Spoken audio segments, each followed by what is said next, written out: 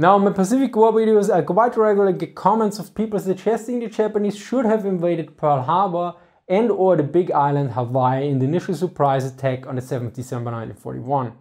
Additionally, the authors of the excellent book Shattered Sword have also a homepage combinedfleet.com where they also get similar questions.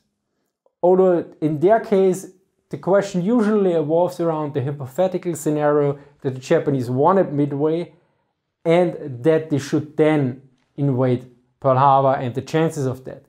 Now, actually here we get into a bit like historical accuracy here because the Japanese actually considered at one point invading Hawaii, basically in March 1942. And it had the following timetable. Midway and some of the Aleutians would be seized in early June, triggering a decisive battle with the US Pacific Fleet. Johnston and Palmyra were to be occupied in August. The attack on the big island Hawaii would begin in October, culminating in assault on Oahu, where Pearl Harbor is located, in March 1943. Now Parshall made a lot of strong arguments on their homepage that this had no chance of success, even assuming a tremendous victory of the Japanese at the Battle of Midway. He also dealt with the December 1941 scenario, mainly focused that it would never have happened from a strategic side.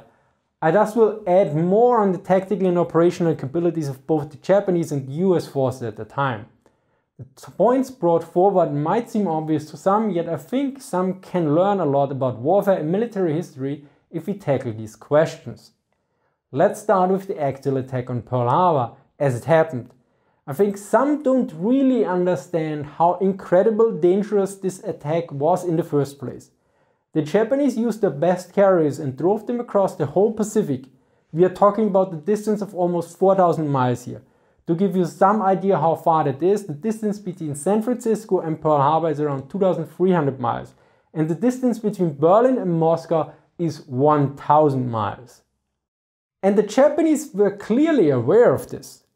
The Japanese Naval General Staff pointed out that the essential surprise element could easily be lost by chance meeting with a foreign ship or plane, that the ships of the attack force would have to refuel at the sea in the stormy waters of the North Pacific and that Yamamoto would be gambling the entire first line carrier striking force on a single operation, one which might well provide futile if the American fleet happened to be absent from Pearl Harbor.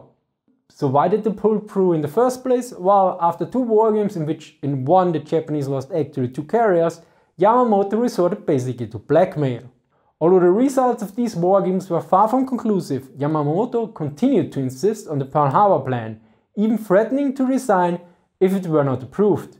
In October 1941, Admiral Nagano gave his reluctant consent. So we have already an extremely reluctant general staff. And the issue is for an invasion compared to the strike that happened against Pearl Harbor, you need two more things. First, the Imperial Japanese Army, and second, more ships. Now the Japanese are well known for their inter-service rivalry. Generally the army was concerned with everything about the continent, whereas the navy looked at the Pacific. And here's a bit of an issue because it was primarily the Japanese army which had specialized in amphibious warfare, the navy to a lesser degree. Only after the Doolittle raid in 1942, the army seriously considered the Pacific an important area. The Doolittle raid accomplished what neither the combined fleet nor the Navy General Staff had been able to do. It convinced army leaders that the Pacific was an important theater. For the first time, the Army General Staff paid serious attention to the Pacific in general and to Hawaii in particular. Yet we are not even at war yet. The invasion of Pearl Harbor would have required at least two divisions, even for the very optimistic planning of the Japanese in 1942, which assumed two divisions, but was later stacked up. And this required the Imperial Japanese Army assigning those, something very unlikely. But we're not finished yet. The other problem is you have to add a lot of ships to your fleet. This is a major issue See, the initial strike fleet consists of vast vessels. The issue is transport ships and assault ships are not fast. Furthermore, these ships need to be protected as well. In other words, you don't just gamble your first line carrier fleet, you also gamble, gamble two divisions and more ships in a strike force that is slower and larger, thus easier to detect and way harder to coordinate as well. But let's look at some data here. The Japanese strike fleet left historically at Tankan Bay on the 26th November at 0900 and on the 6th December at around 2100 it was about 400 miles from Pearl Harbor. Now here's the issue. Three days before, on the 3rd December, the fleet had to refuel. This was without difficulty. Then again, with a larger fleet, it would have taken longer and added more complications. Anyway, let's get to the point, namely that the fleet had to increase its speed on the 3rd of December. With the smoother seas, the force which had been sailing at an economical speed of 13 knots increased its speed to 26 knots in order to reach the launch site on schedule. Now here's the first issue, although an average speed of 13 knots doesn't seem much at first, this is not the case for non-combat ships. Namely for transport ships and assault ships, this was a big deal. The first landing craft carrier that was designed as such was the Shinshu Maru. She had a max speed of about 19 knots. She would have the capacity of around 1400 men. The issue is her cruise speed was likely below 30 knots which would have increased her fuel consumption and thus reduced her range. Additionally, she was one of the few exceptions. Other Japanese transport vessels usually had a max speed of 9 to 10 knots at, at the time, according to Parshall. More modern Japanese amphibious assault ships like the SS-class landing ships had a max speed of around 14 knots and a range of around 3000 nautical miles. Yet it had only a carrying capacity of 170 men. If we assume about two divisions, we are talking about 30 to 50,000 men, depending on which type of division you use and how many additional forces you take with you.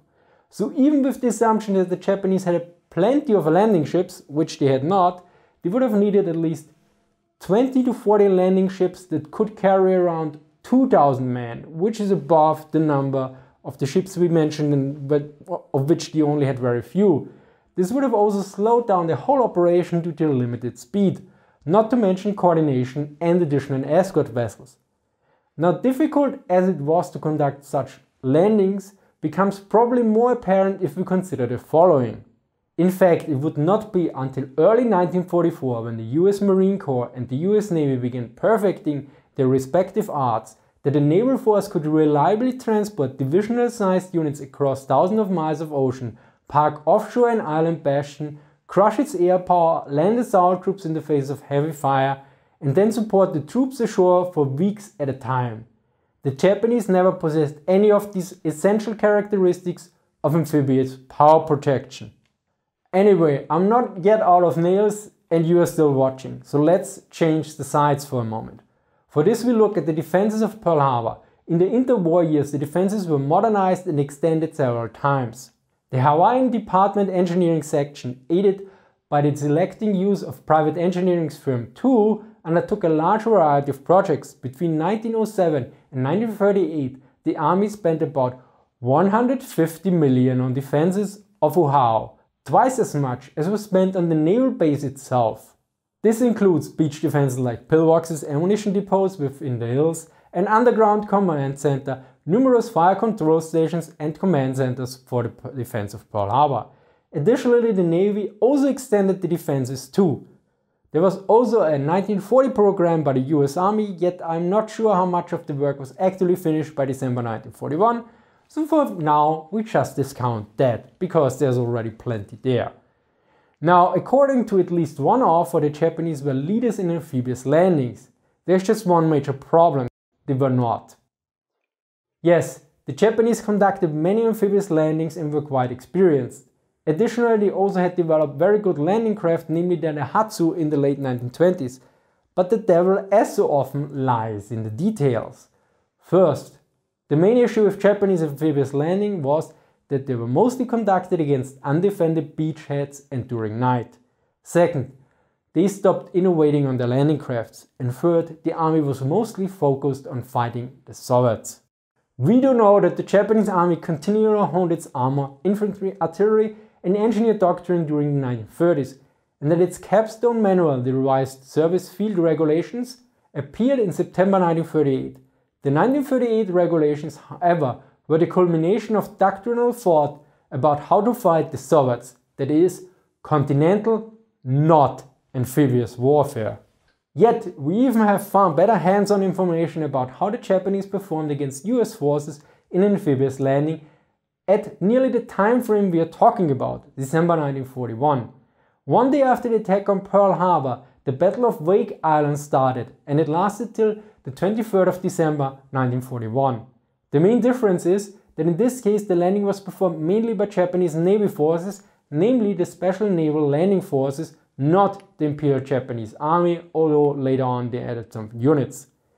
Wake was defended by about 440 Marines, 70 sailors, and more than 1000 civilian construction workers, yet some of those Marines were pilots and or service personnel for the planes. As such, the task of physically defending the island against a landing fell to 15 officers and 373 men of the 1st Defense Battalion. Basically the base was understaffed. Personnel shortages limited the overall command of the Defense Battalion to manning only 6 of its 12 3-inch anti-aircraft guns and half of its machine guns. All six 5-inch Seacoast guns were manned, but the Marines had a limited of conventional fire control equipment and no radar. Further, the island or better islands were not particularly well suited for defense, and there was a lack of barbed wire, naval and landmines. The small size of Wake also precluded a mobile defense. By elimination, Major Devereux planned the defense at the water's edge. Compounding his shortage of gun crews was a complete lack of infantry to conduct even local counterattacks. By Saturday, December 1941, the 1st Defense Battalion had its guns mounted. The Marines held simulated gun drills, but no firing. Their first chance actually to fire the guns would be against the Japanese landing. Meanwhile, the Japanese had support from land-based aircraft based on the Marshall Islands. In the initial attacks, they lost two destroyers to the coastal guns. Later, they landed around 1,500 of the troops outside of the range of these guns.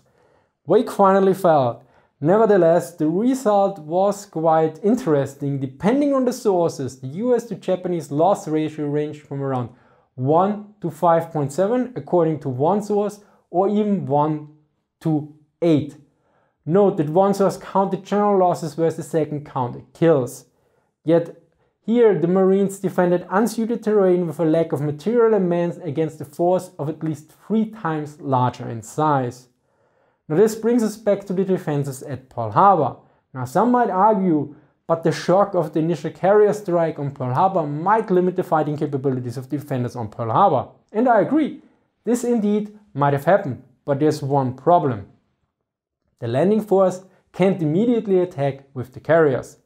These were 275 miles off Hawaii when they attacked, and as such, when the landing ships escorted by other ships would finally reach Pearl Harbor, defenders would likely be well dug in and well prepared as well. By the end of the first wave, the coastal artillery troops were beginning to disperse to their assigned defensive positions. The heavy guns, fire control stations, and beach defenses were soon manned in preparation for landings that never came.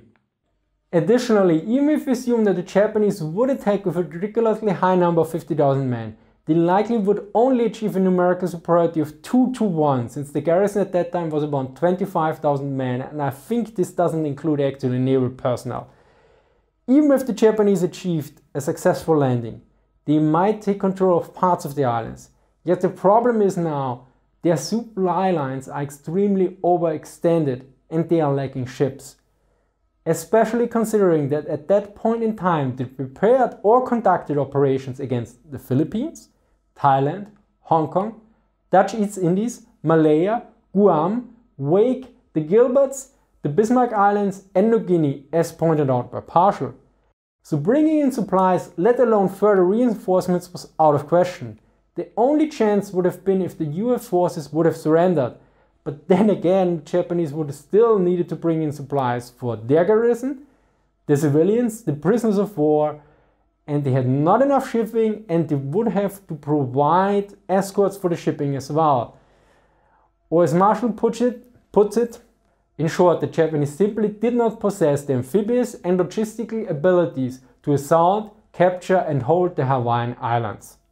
And we should not forget here that in 1942 the US leadership was so aggressive that it risked losing an aircraft carrier to drop some bombs on the Japanese main islands I don't think they would have fought twice, throwing everything against the Japanese convoy in the Pacific trying to reach Pearl Harbor after it had been conquered.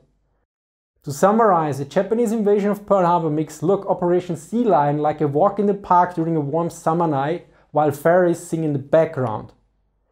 I hope you learned something new. Special thanks to Naval Institute Press for sending me two complimentary copies of their books that were used in this video. Also thank you to Justin for providing further sources and Drachinifel for details on the Japanese landing ships. Special thanks to Michael for sending books that helped making this video. Also a big thank you to all my supporters on Patreon. As always, source a link in the description. I hope you enjoyed this episode. Thank you for watching and see you next time.